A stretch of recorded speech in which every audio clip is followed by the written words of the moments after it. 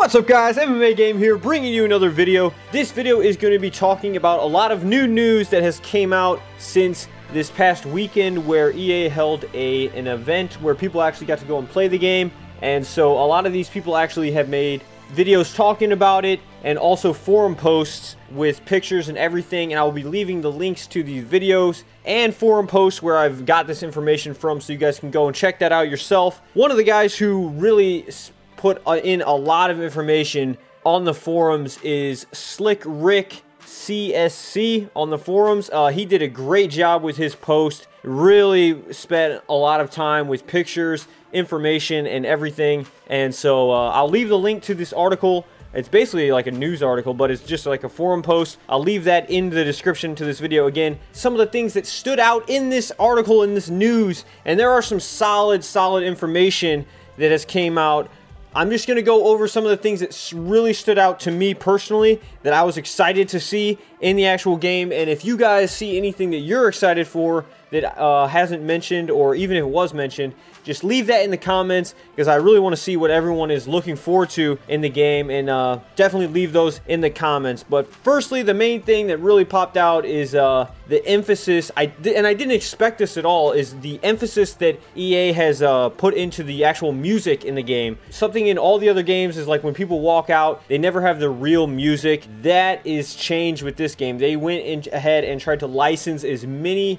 real songs of fighters that they could, including Jon Jones, I'm Coming Home, BJ Penn's trademark Hawaiian theme music when he comes out, and also Anderson Silva's DMX is some of the tracks that were specifically listed in some of these videos that have came out. But I think there's a total of 100 tracks in the game, so that is crazy. That means that there's going to be a lot of people that have their real music. So that is really good to hear because that's a real big part of an actual event is hearing that music get you in the mood and you know that your fighter's coming out. So that's really, really big news. Another thing that really stood out to me was that you can not only, you don't need to make creative fighters in the actual career, you can make them on a different thing where you can just kind of make them. It was similar to EA MMA, I think, where you can just make them and play right after you make them. You don't have to really go through and, and, mess and get up their stats. You can just make them, the appearance of them, and then play them online. So that is huge news to me because that's I did that uh, so much on EA MMA, and I can't wait to make some really cool creative fighters. Another big piece of news is something that I was really hoping for in this game, and it has been confirmed now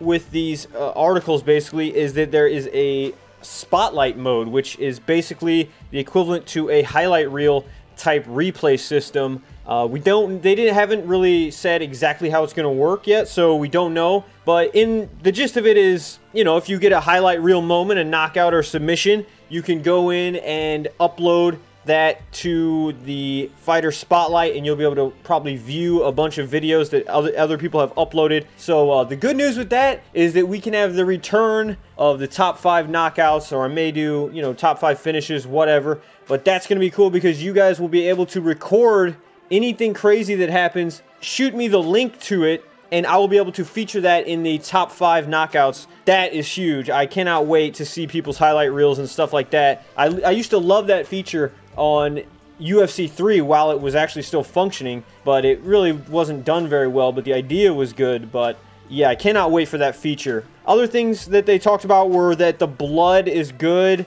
Uh, a lot of people were saying that it was they're going to tone it down, but everyone's pretty much saying that it looks really good. Like you can get you can get really messed up, the blood gets on the mat, and it's they say that it just looks great. They're happy with it. The other thing that some people were concerned about the one video with Anthony Pettis and Jose Aldo being too fast and too quick of a gameplay for them. Um, people reassured in these posts that it really isn't the case. The more you throw, you will start to slow down, especially if you're a higher weight class.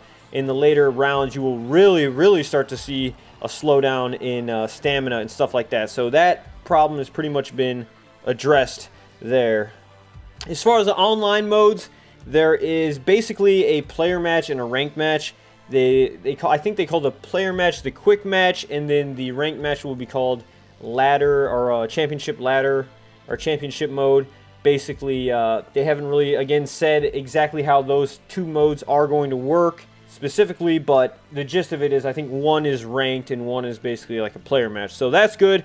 You don't have to do ranked. You can go into player match and have fun with your CAFs and stuff like that. So I'm definitely going to be doing a lot of both because you I, I think they have stated that you cannot use CAFs in ranks, So I definitely will be playing on player matches. I think they're going to be a lot of fun. I think a lot of people are going to be on player matches, at least at first, eh, when the game first is released, the first couple weeks or so. So that's going to be good. Let me know if you guys are going to do player match first or just go right into the championship. You're going to hop on ranked. I'd be interested to know what you guys are going to do in the comments. The other thing that they addressed were the game plans. I made a previous video a while ago showing a bunch of the game plans in uh, fighter skill attributes that you can add to your fighters to sort of make a custom game plan and that was addressed the the roster fighters all the roster fighters actually have a preset attributes that are already there for their game plan and they just exist as is for the offline and online mode. So I thought that might actually be how it is, but there was still part of me that thought you could maybe choose, but it doesn't that doesn't really make sense with a lot of fighters if I really thought about it. So that's good. I mean, you know, your classic type fighters like Vitor and stuff are probably going to have the more striking attributes and stuff like that, and other ground guys are going to have more of the ground attributes. So that's all good. But again, with the cash, you'll be able to add as many different types of game plans as you want. So that's always a good thing with that. Another cool thing is there's a lot of taunts that the fighters can do.